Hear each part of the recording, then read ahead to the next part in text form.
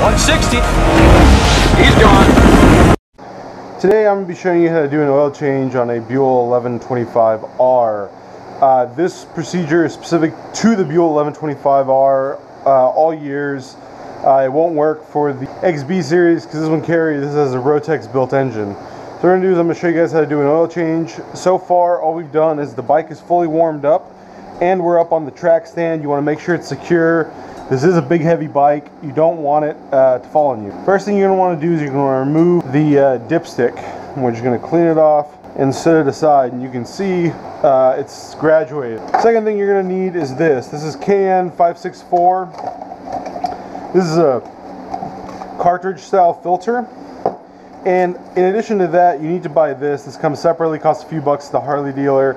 Uh, it's new crush rings and a new O-ring for the cover. You're gonna need a 3 8 wrench, um, a wrench set of standard heads. First thing we're gonna do is we're gonna put this under here like that. And our first port of call is here on the left-hand side of the engine. Let's be a 17 millimeter. This is drain bolt number one. Just bust that loose and then it'll just come out by hand. You wanna have a towel ready, clean up your hands a little bit. And we want to ensure that we clear off particulate. It's on here because this plug is magnetic. Get all that nastiness out of there.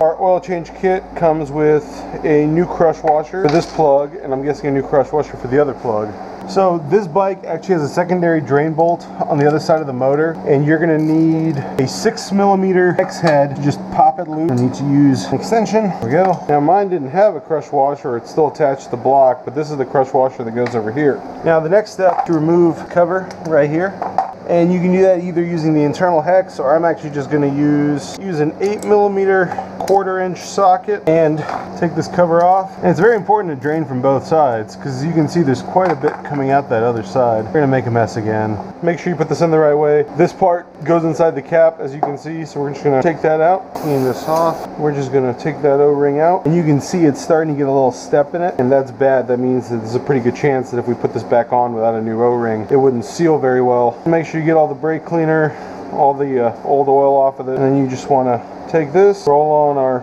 our new o-ring. We'll put a just a hand just a touch of oil on it. Bolts in there and I like that design. This one actually holds the filter in place for you quite nicely. Dip a finger in here, touch of oil all the way around this gasket. Helps prolong the life of the O-ring. And then put our filter in there. So we will now tighten the oil filter cartridge to 97 inch pounds. The larger one uses a 17 millimeter socket and tightens to 18 foot pounds. So this side tightens to 132 inch pounds. And now all we got left, oil. Back in the motors. I use Rotella T15W40 in all my bikes and you're gonna need about 2.6 quarts. There's about four quarts in here, so we should be left with about uh, 1.4 quarts. Now we're gonna do is we're gonna just gently thread that on.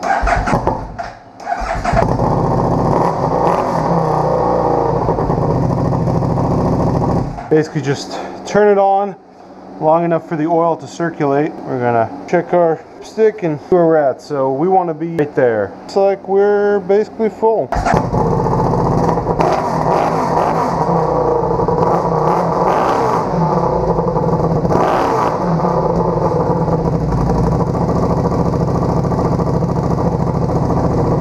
And there we go. Buell oil change complete.